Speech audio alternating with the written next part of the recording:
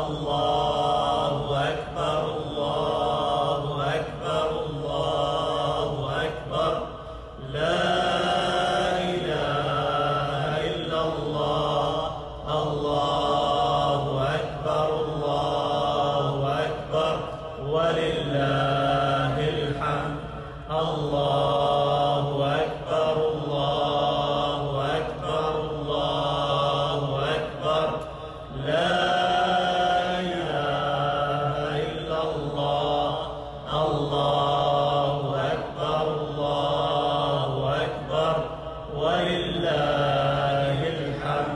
The program as follow for tomorrow starting with Fajr prayer at 6.05 inshallah.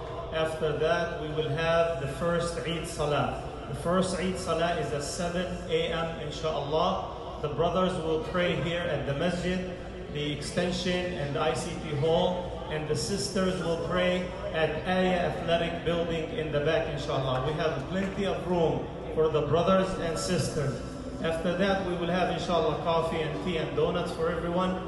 And we would like everyone to leave in time for the second salah to come in. So, inshallah, by 8 o'clock, if you guys uh, be out of here, we would appreciate that. And the newcomers for Salat Al-Eid al-Thaniya, which is at 9.30, please do not come before 8.30. Takbirat will start at 9 o'clock. So please come in at 8.30, no earlier than 8.30, so we can give a chance for the first salah to come up. The second salah will be at 9.30, inshallah, followed by Eid breakfast. The same thing, inshallah, the brothers in the front here the masjid and the sisters in the back at the uh, Aya Athletic Building. After that, inshallah, we will take a break and we will start our celebration of Eid here at the masjid. Families, children, everyone is welcome to join us. We will have a carnival that will be free for everyone.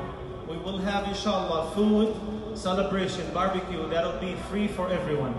But the food will be from 4 to 5. We will serve the whole community, inshallah. We will barbecue all day for you until you come in at 4 o'clock and have, you know, dinner with us. We will do it just like the Ramadan style. The sisters and they're under their tent, the brothers under their tent.